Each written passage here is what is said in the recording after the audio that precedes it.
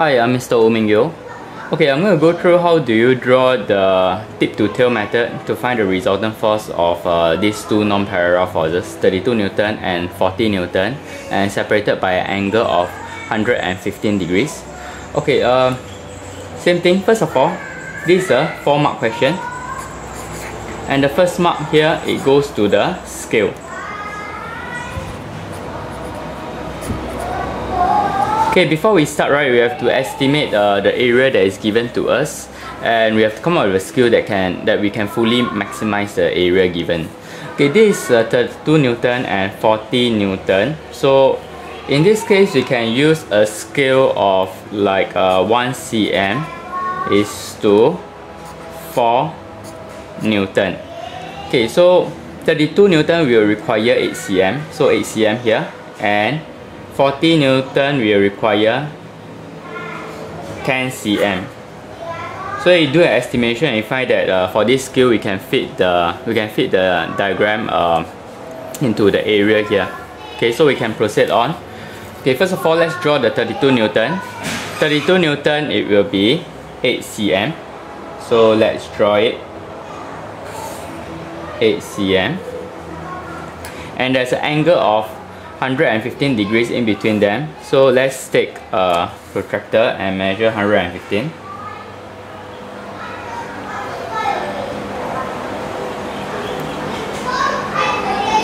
Okay, this 40 Newton, it will be 10 cm. So let's draw 10 cm.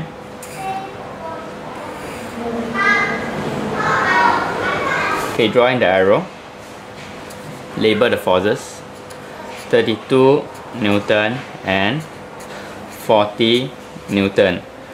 Okay, um, just a reminder, when you want to use tip to tail method, right, you must make sure that the, the tip of the first force touches the tail of the second force. So in this case, this criteria is fulfilled.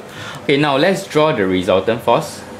Okay, the resultant force will be from the tail of the of the first force to the tip of the last force.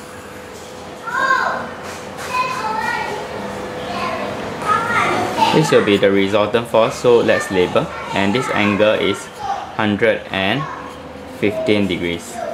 Okay, let's measure let's measure the total length.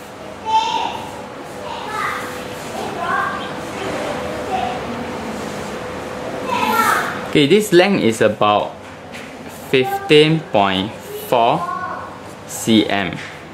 So let's convert it to Newton. So we will times 4 to this uh, we will get 61.6 Newton.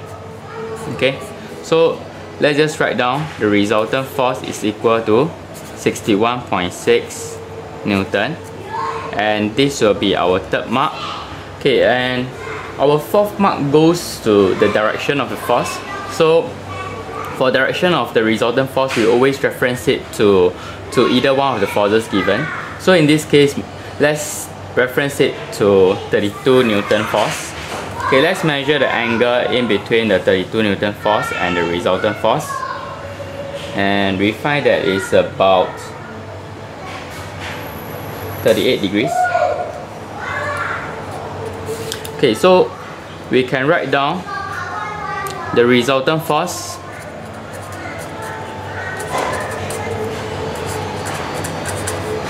is 38 degrees